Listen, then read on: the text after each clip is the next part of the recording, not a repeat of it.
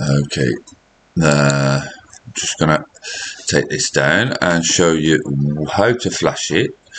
Uh, no what I'll do is I'll actually show you how.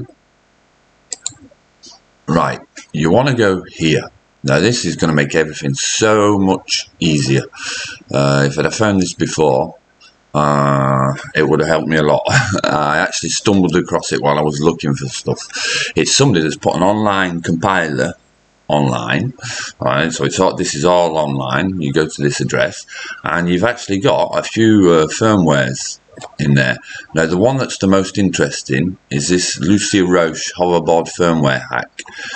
Now you've got the config H that's already done what you need to do with this is, yeah, there's not a lot to do.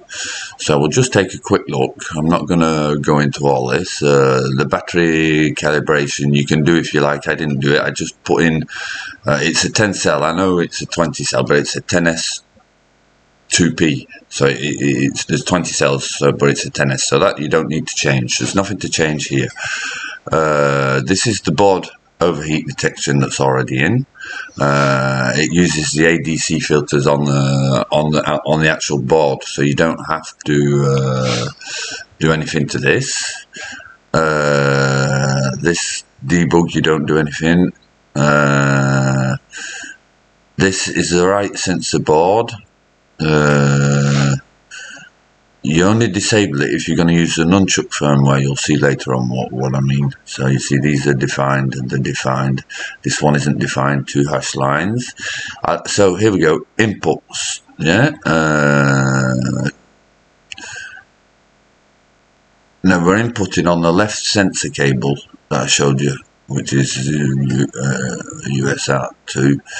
Uh, you disable it yeah, if you're using ppm, which is what we're actually using. So it needs to be disabled. You put these two lines if they're not already there. Uh, the rest is disabled here. So we're looking at control via RC remote, yeah? And it actually uses channel 1 and channel 2 on the radio. Uh, but you still uh, need to define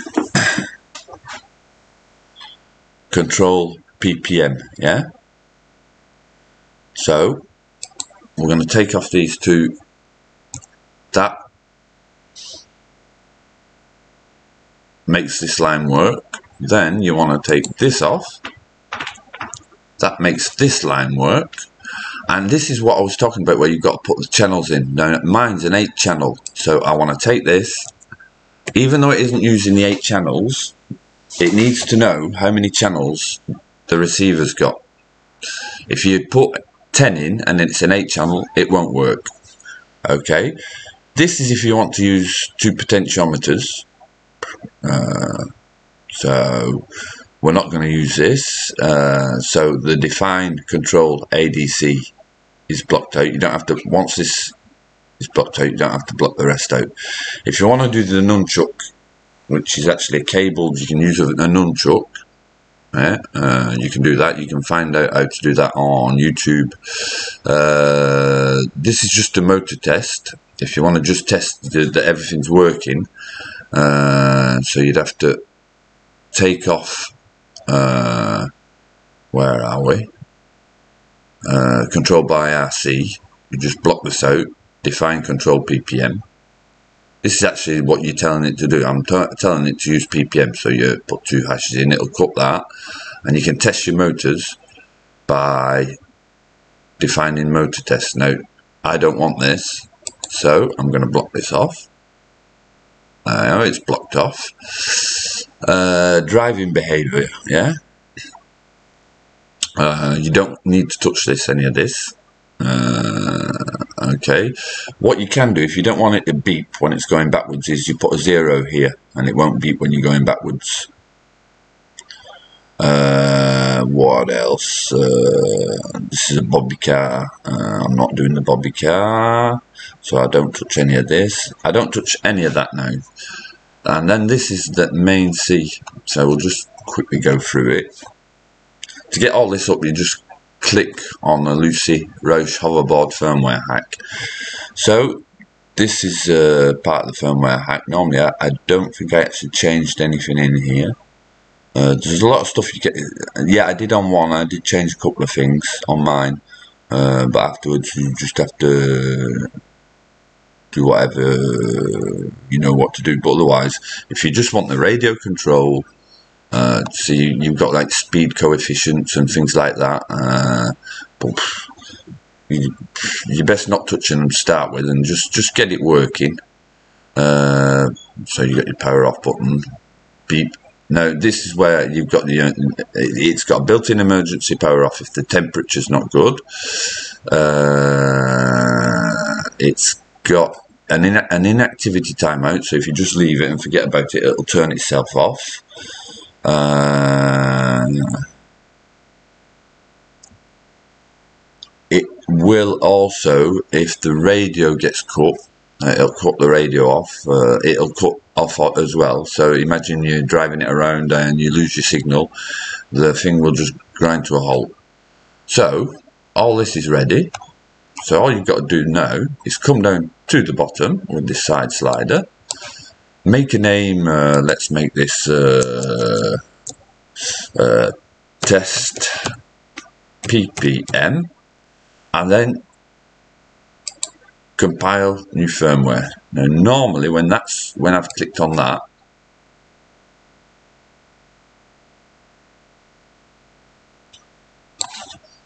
successful completion. So you've got two fishes, you've got the point hex, what you want is the dot bin. So you just click on it, it'll download it. Now you've got the Lucy Rose hover bin. Uh, find out where it is, uh, it's in French. Sorry, this is to show show it in the in the dossier uh, in the file. So it's in Téléchargement. So I'm going to copy it, uh, copy it, and I'm going to go into my dedicated Mr. Baddeley, uh, which is the SanDisk. I've got droids here. Uh, you can see all the stuff I've been doing with the hoverboard. I, I really was struggling at first, and then I, I stumbled across this, uh, which made it all so so easy. So I'm going to open this up. I'm going to make a new file. Uh,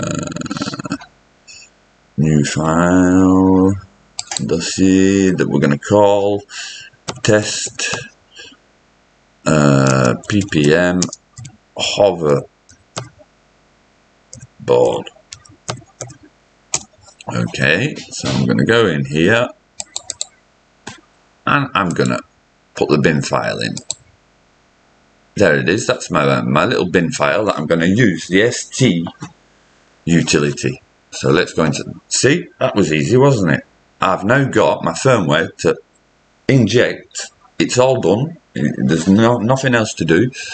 Uh, I've got that to inject into the STM, which is STM 32 link utility. It's uh, it's free. Uh, Google it and you'll get it, and it'll come up with this. Now, what you're going to get, uh, I'm going to actually link up to it. So, uh, I showed you where you had to bridge up. Let me get the image up. Uh, here we go. So what you want to do is you want to get a jumper cable or a DuPont cable, uh, a DuPont female-female, and you want to bridge these two. Uh, so I'm going to plug in. I'm actually going to film this uh, while I'm doing it on. So you get a double live, a double live uh, video. Um,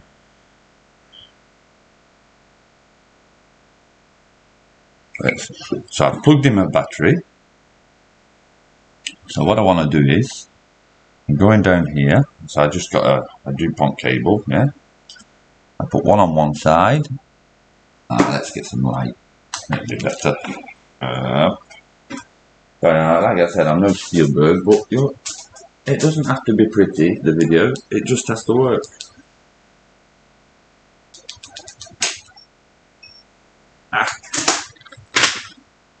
called uh, my light source. There we go. Ah, let there be light. So, there's a lot of cables going on. Let's get some. So, you want to get this, put it on one side, and then I will put it. Let's get the header pins in.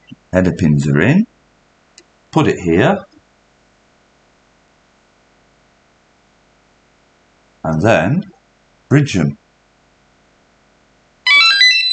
Uh, mine gives that sound. Yours will give a different sound first. It's already flashed. Okay. Uh, so that's all linked up. That's linked there. Uh, let's bring this down. Now I'm going to connect. Connect. It's it's it's uh, it's connected. Let me put this on pause. Uh, it's connected. Now sometimes it's locked. So what you want to do is go into target, uh, option bytes, and here the readout protection is disabled. When you first go in, it'll be enabled. You want to put it on disabled, otherwise you won't be able to program it. So then, once you've got all that, you go to File, open the file, remember where you put it. Uh, so we put it in SanDisk Droids, and it was uh, test ppm hoverboard. I've got my bin file. I click on it. Then target, program and verify, start, and that is it. It's flashed. It's done. It gave me my little beep. So what you want to do now is take off the let's go back so you take off the bridge or one side at least there we go uh, and that's it uh, you just set up your radio on mode 2 uh, if you've got the left and right if you've got the right you, you've got normally on mode 2 the throttle is on the left but you're going to use mode 2 but use the right hand stick. The reason being it centers automatically. So that's that's a great thing. Uh, make sure you've got your ppm signal that you've linked up to your your radio and that's all you've got to do it's flashed it's ready you, you put everything back together you can actually uh, uh, test it like I made the test rig uh, then all you've got to do is link everything up, put your power button back into in, in its place. Uh, you've got your charging cable, and you you're ready to go. Doesn't get much simpler anymore. Uh,